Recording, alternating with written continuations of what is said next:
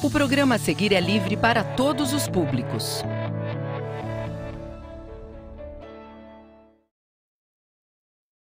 Boa tarde, galerinha do quarto ano. Tudo bem com vocês? Eu sou a professora Aline Gack. E vocês sabem que se eu estou na área, é mais um dia de matemática na sua telinha. E eu já vou aqui, ó, conversar pertinho de vocês para avisar que teremos três aulas seguidas de matemática com a professora Aline. Vocês acreditam nisso? Vocês vão me aguentar três aulas seguidas.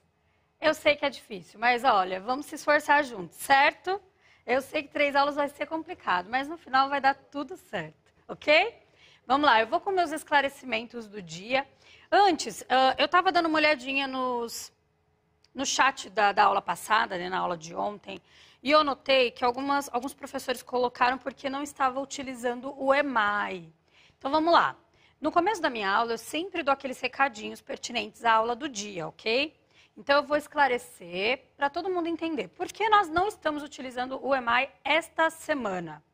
Porque estamos utilizando o material do Aprender Sempre, volume 3, do quarto ano, sequência 2, ok? Então, é por isso que nós não estamos utilizando o EMAI. Estamos utilizando um outro material. E por que estamos utilizando o material do Aprender Sempre? Porque estamos na semana de recuperação de matemática. Ok? Então, essa semana é uma semana de recuperação. Como não tivemos aula na segunda-feira por ser feriado, teremos então três aulas hoje e três amanhã para completar as dez aulas da sequência 2. Ok? Esclarecimentos feitos. Peço a ajuda de vocês, professores maravilhosos que estão aqui no nosso chat, que se surgir essa dúvida no decorrer da aula, vocês me ajudem a esclarecer é, para o professor, né? ok? Vamos lá, quero dar as boas-vindas a todos vocês, alunos do quarto ano, super investigadores e que moram no meu coração. Estou recebendo já as releituras do quadro do Cândido Portinari, estou amando, estou printando tudo e vou preparar uma apresentação muito legal para vocês. E, então, se você não fez a sua releitura, pode fazer e mandar para mim, certo? E claro, já prepara seu lápis, o material do Aprender Sempre ou o caderno para realizar as suas anotações do dia, certo? Se não tem o material, não tem problema nenhum, faz no caderno. Quando o material chegar, você anota tudo depois no material, ok? Quero dar as boas-vindas também aos pais e vamos mãos à obra, ok? Vamos lá, vamos trabalhar que hoje ó, são três aulas de muito conteúdo, tá ok? Então, uma boa tarde aqui, agora que eu estou olhando o nosso chat, né? Uma boa tarde a todos vocês que estão aqui no nosso chat, certo? Ó, a professora Elisete falou assim, oba, muita matemática. Pois é, professora, muita matemática hoje. Tá ok? Vou colocar a habilidade na telinha e já volto aqui falar com vocês. A habilidade do nosso primeiro momento de aula é o seguinte: EF04 MA06A. Resolver e elaborar situações problemas envolvendo diferentes significados da multiplicação, adição de parcelas iguais, organização retangular, utilizando estratégias diversas, como o cálculo por estimativa, o cálculo mental e os algoritmos. Então, essa é a habilidade do nosso primeiro momento de aula, ok? Essa, essa é a habilidade que nós vamos utilizar agora, tá? E antes de começarmos a mão na massa, vou dar as boas-vindas à Raíssa. Boa tarde, Raíssa. Tudo bem? Preparada? Hoje serão três aulas, hein? Pois é. Então vamos? Ah, bora! Então vamos começar com a nossa situação problema do dia. Nesta aula, vamos lá, nesta aula vamos utilizar o sinal de igual, analisando o seu uso, que não se limita à indicação do resultado de uma operação. Então vamos lá, só para vocês entenderem. O nome da nossa aula é Relações de Igualdade, então a gente vai estudar um pouco o sinal de igual. Para a gente conseguir mostrar para você, aluno do quarto ano, que ele não se restringe só na hora que a gente precisa uh, relacionar a um resultado, ok? Então é isso que a gente vai ver hoje, é o sinal de igual hoje, ok? Então vamos para a nossa situação problema. O senhor Antônio pediu que Ana Júlia e Giovana pensassem em dois números cuja soma fosse igual a 100. Ana Júlia disse 30 e 70. Já Giovana sugeriu 99 e 1. O senhor Antônio perguntou a elas se é correto escrever. Olha aqui, olha o jeito que o senhor Antônio escreveu. Será que é correto? Vamos lá, aluno do quarto ano, já vamos começar pensando aí. Será que é correto eu afirmar que 30 mais 70 é igual a 99 mais 1? E aí, qual é a opinião? Será que tem aluno por aí? Se tiver aluno por aí, manda a resposta para mim. É correto afirmar que 30 mais 70 é igual a 99 mais 1? Eu quero a resposta dos nossos alunos do quarto ano. E aí? Professora Marineia falou que a Carolina disse que sim. Ok, professora Regiane disse que o Eric também concordou. A professora Bruna falou que a aluna Ana Lívia também disse que sim. Então vamos analisar essa sentença? Vamos lá. A primeira sentença que eu tenho é 30 mais 70. Quanto é 30 mais 70? 30 mais 70 é igual a 100, ok? Vou colocar aqui embaixo. E 99, aqui, ó, 99 mais 1 também é igual a 100. Portanto, sim, pois ambas as adições, o resultado é 100. Então, é correto afirmar. Então, vamos lá, de novo. É correto afirmar? Sim. Pois ambas adições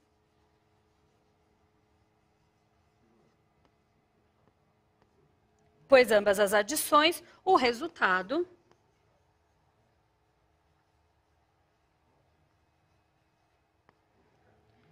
é igual a 100.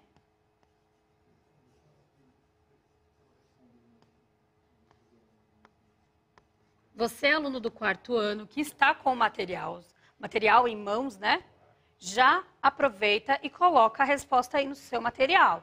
Então, sim, é correto afirmar que 30 mais 70 é igual a 99 mais 1, pois as duas adições têm como resultado o número 100, ok? Então, tá. Agora eu vou, já vou dar um recadinho para os professores e vou deixar você, aluno do quarto ano, em alerta. Na nossa, no nosso próximo questionamento, eu vou precisar da contribuição de vocês. Então, se tem um aluno aí, manda a resposta para o professor, certo? Vamos lá. O que você, aluno do quarto ano, responderia? E aí, indique agora dois números cuja soma também é igual a 100. Só que não pode ser 30 mais 70 e também não pode ser 99 mais 1. Eu quero outras adições onde o resultado é 100. Vamos lá, será que tem aluno aí? E aí, professores, mandem as contribuições para mim. Eu quero a resposta dos nossos alunos. Ó, mas e o nome do aluno? Mande para mim o nome do aluno. A professora Valéria falou que a aluna Júlia disse 50 mais 50. Muito bem. Então, vamos lá. 50 mais 50. Vai ter como resultado 100? Tá certo. Quero uma outra contribuição de aluno. Vamos lá? Vamos lá. Minha xará Aline professora Aline disse que o Jean disse 40 mais 60. Arrasou, Jean. Tá certo. Também. 40 mais 60. Mas, professora Aline, a gente só tem essas quatro opções, aquelas duas da primeira telinha e essas? Não. Temos várias combinações, isso, várias, desculpa, várias combinações que tem como resultado o 100, certo? Ó, só que eu anotei o 20 mais 80, certo? Tem o 99 mais 10. Então, a gente tem inúmeras possibilidades, ok? Então, muito obrigada pelas contribuições de vocês, mas eu vou precisar ainda hoje, hein? Vamos lá. Vamos à nossa segunda situação, problema de hoje. O senhor Antônio propôs que elas analisassem as centenas matemáticas apresentadas a seguir e as classificassem em verdadeiras ou falsa. Ele pediu que para sentenças falsas justificassem o porquê. Então vamos lá. O senhor Antônio colocou algumas sentenças matemáticas, certo, para elas analisarem. E aí elas tinham que dizer se aquelas sentenças eram verdadeiras ou se elas eram falsas. Mas para sentenças onde elas diziam que eram falsas, elas tinham que justificar. Ok?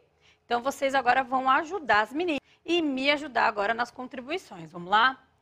A primeira sentença é a seguinte. Vamos lá. Primeira sentença. 30 mais 70 mais 20 é igual a 99 mais 1 mais 20. E aí, se tiver aluno por aí, manda a resposta para mim. Vamos lá. E aí, é verdadeira essa sentença? Posso dizer que é verdadeira ou não? Vamos lá. Proaline também me achará. Diz que o aluno diz que é verdadeira. O Jean diz que é verdadeira. Sei. Quem mais? Professora Alexandra falou que o aluno Vinícius disse também é verdadeira. E vocês estão certos, é verdadeira. Vamos analisar aqui um pouquinho? Vamos lá. A gente viu na, no slide anterior que 30 mais 70 é igual a 100, ok? E que 99 mais 1 também é 100. Então, até esse momento, as duas sentenças estavam iguais. O que, que eu fiz? Acrescentei 20 nessa, e aí eu obtive né, mais 20. Cheguei na resposta de 120. E aqui eu também acrescentei mais 20. Obtendo a resposta de 120. Então, já que o resultado dessas duas sentenças são iguais, sim, ela é verdadeira. Vou colocar aqui na telinha para vocês. Verdadeira. Certo? verdadeiras duas sentenças. Vamos para a próxima, tem mais uma. E agora esta sentença aqui, vamos lá. 30 mais 70 menos 20 e 99 mais 1 menos 20. E aí, elas são iguais? As sentenças são, têm relação de igualdade? E aí, se tiver aluno por aí, eu quero saber a resposta. Ó, a professora Cristiane falou que o Pedro Henrique disse que é verdadeira. Hum, entendi. Quem mais? A professora Célia falou que os alunos da escola Zerbini estão participando da aula, muito bem. E a professora Carla falou que os alunos da escola Mozart disseram que é verdadeira. Vamos analisar? Vem comigo, vamos lá. Já vimos nos slides anteriores que 30 mais 70 é igual a 100 ok? E que 99 mais 1 também é igual a 100. Até aí as sentenças estão com relação de igualdade, certo? Mas o que, que eu vou fazer aqui? Menos 20. Tirei 20 da sentença. E aí 100 menos 20 é igual a 80. Certo? E aqui a mesma coisa, eu tinha 100 e tirei 20. Certo? 100 menos 20 igual a 80. Então, as duas sentenças tiveram o mesmo resultado. Portanto, essas duas sentenças, elas têm relação de igualdade. A resposta é verdadeira. E quem tem o material já faz as suas anotações, ok? Vamos lá? Tem mais, professora? Tem mais. Vamos para a próxima. E agora essa outra sentença, dá uma olhadinha. 30 mais 70 mais 25. E 99 mais 1 mais 1. Será que essas duas sentenças têm relação de igualdade? E aí? qual é, agora eu quero ver, qual é a resposta dos alunos? Vamos lá. E aí? Professora Rita de Cássia disse que a Nicole falou que. Ah, não, ela disse que a Nicole acertou as outras questões. Muito bem. Quem mais? Professora Luceia falou que o aluno Carlos disse que não. Que é falsa, então? Se não significa que é falsa, é isso? professora Andréia falou que a aluna Giovana disse também que não. Vamos analisar? Vamos dar uma olhadinha aqui. Aqui vocês já estão cansados de saber que 30 mais 70 é igual a 100. Certo? Só que aqui eu somei 25. Mais 25. E aí eu obtive de resposta 125. Certo? E aí eu tenho aqui do lado, ó, 99 mais 1, nós também vimos que é igual a 100. Certo? Só que aí, ó, somei mais 1. E aí eu tive a resposta de 101. O que isso significa? Que não. Essa sentença é falsa. Vou colocar aqui a resposta para vocês aqui no cantinho. Vamos lá? falsa. E aí, todos os alunos que responderam falsa estão certíssimos que é falsa. Certos de que são falsas. Certo? Vamos lá, vamos para a próxima? Tem mais? Tem mais. Hum, e agora? 40 mais 60 é igual a 10 mais 90. 40 mais 60 é igual a 10 mais 90. Esta relação de igualdade é verdadeira ou ela é falsa? Hum, professora Lucy falou que a aluna Brenda disse que é verdadeira. Hum, será? Quem mais? Quem mais? Preciso de mais alunos aqui. E aí, a professora Mônica disse que a Giovana também falou que é verdadeira. Vamos analisar essa sentença? Então, vem comigo, vamos lá. 40 mais 60. E aí, galera? A gente viu nos slides anteriores que essa também é uma possível combinação para o número 100. Então, 40 mais 60 é igual a 100. Ok? E 10 mais 90 também é igual a 100. Inclusive, essa a gente nem acrescentou e nem tirou mais nenhum outro número. É uma equação simples. 40 mais 60 igual a 10 mais 90. Chegamos ao mesmo resultado. Portanto, essa é uma sentença verdadeira. Vamos lá. Verdadeira, certo? Quem tem aí o caderno ou está com o material do Aprender, sempre aproveita e faz as anotações, ok? Professora, acabou? Ainda não. Tem mais? Vamos lá. Mais uma sentença. 40 mais 60 mais 50 igual a 10 mais 90 mais 50. E aí, verdadeira ou falsa? Professora Edna disse que a aluna Heloísa disse que é verdadeira.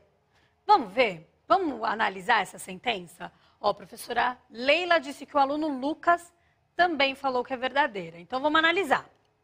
A gente viu no nosso slide anterior que 40 mais 60 é igual a 100. Ok? Só que aí a gente acrescentou 50. Então, mais 50, que é igual a 150. 100 mais 50 é igual a 150. Agora, a gente também viu no slide anterior que 10 mais 90 também é 100. E aqui eu também acrescentei 50. 100 mais 50 igual a 150. Obtive o mesmo resultado nas duas equações. Portanto, essa é uma equação verdadeira. Vou colocar aqui a resposta para vocês. Vamos lá? Verdadeira. Tem mais, Pro? Tem mais. Vamos para mais uma? Vamos lá. Essa vai mudar um pouquinho, hein? Eu quero aluno atento por aí, hein? Vamos lá. A sentença é 40 mais 60 mais 10. Mais 10. e 40 mais 60 menos 10. E aí? É verdadeira? É falsa? professora Lucy disse que a aluna Brenda falou que é falso. E a professora queima, ah, não passou rápido. A professora Mônica disse que a Giovana também está acertando tudo, muito bem. E a professora Ana Luísa falou que o Rafael falou que é falsa. O aluno Rafael falou que é falsa. Vamos analisar. Vamos analisar. A matemática é assim, não adianta só falar, a gente tem que testar e analisar. E é o que a gente vai fazer agora, certo? Então vamos lá. 40 mais 60 tá fácil, né? A gente já viu que é 100. Então vamos lá. 100. Só que nesse caso, a gente somou mais 10. Então, mais 10. Que dá um total, ó, vamos lá, 100 mais 10 igual a 110. Certo? Agora vamos analisar do lado. 40 mais 60 igual a gente acabou de ver aqui, ó. É igual a 100. Então, vamos lá. 100. Ah, mas olha agora o pulo do gato. Olha aqui. Menos 10. Menos 10. Então, no caso, 100 menos 10 é igual a 90. Observe aqui que são dois resultados diferentes. E aí, é falso ou verdadeiro? Ficou fácil, né? É falso. Mas por que, que é falso? Ao somarem um membro e subtrair no outro o mesmo valor, obtemos resultados diferentes. Então vamos entender. Ao somar em um membro e subtrair em outro o mesmo valor, obtemos resultados diferentes. E se os resultados são diferentes, essa sentença não pode ser verdadeira. Ela é uma sentença falsa. E eu vou colocar aqui no quadro para vocês. Vamos lá? Falsa. Sentença falsa, ok? Uh, deixa eu ver se tem mais uma aqui. Ah, tá. Vamos lá. Só para esclarecer aqui, né? O que, que a gente fez aqui e por que, que ela é falsa. Porque o aluno do quarto ano, você mesmo aí do quarto ano, pode interpretar da seguinte maneira: eu tenho os mesmos números nas duas sentenças, professora. Eu tenho o número 40, eu tenho o número 60 e eu tenho o número 10. Então, as sentenças elas são iguais, porque elas têm o mesmo número. Então, nem tanto, galera, nem tanto. Por quê? Na primeira sentença, eu somo. Na segunda sentença, eu subtraio. São operações distintas. Então, se eu somo e subtraio o mesmo valor, só que eu somo numa sentença e subtraio na outra, o resultado é diferente. E a gente já entendeu que nas relações de igualdade, o resultado tem que ser igual. Se o resultado é diferente, então elas não têm relações de igualdade. Ok? Deu para entender? Pessoal, vamos lá. Antes da gente finalizar, eu vou colocar aqui a nossa telinha de avaliação, porque o oráculo me fala sempre que eu esqueço da telinha de avaliação. Então, eu já vou colocar logo ela, porque aí ele não vai falar que eu esqueci, certo? Olha lá, tá vendo que ele já até colocou na tela cheia? Então, então aqui, ó, telinha de avaliação, você pode avaliar esse nosso primeiro momento de aula pelo QR Code ou o link da telinha, certo? Mas, pro, aí acabou. É isso, não vai ter mais aula. Esse é o nosso primeiro momento de aula, que era relações de igualdade. A gente vai voltar para mais dois momentos. Então, agora, o que, que vocês vão ter? Uma pausa de cinco minutinhos para beber aquela água. E já digo que eu também vou beber uma água. E aí vocês voltam para mais matemática, certo? Então, vamos lá. Aqui, ó, relações de igualdade. A gente volta para falar um pouquinho de arte. Já estou dando spoiler. A gente vai falar um pouquinho de arte com matemática certo? Galerinha, eu espero que vocês tenham gostado desse nosso primeiro momento de aula e vejo vocês daqui a cinco minutinhos, certo? Beijão, tchau, tchau.